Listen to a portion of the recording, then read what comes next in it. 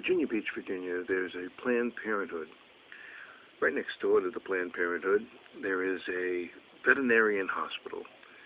In that place, they're doing all that they can to save cats and dogs and even snakes. Puppies in a womb uh, of a uh, of a of a dog that's uh, that's dying because it was hit by a car. And they save those puppies. Do all they can to save those puppies. In Planned Parenthood, in the building right next door, they're killing babies. And we do nothing about it. We watch it on the news. Everything is being done to save the life of a dog. And in the other place, they're doing everything they can to kill a baby. Something is wrong, and something needs to be done. We need to return to God. We need to return to righteousness, and we need to do it now.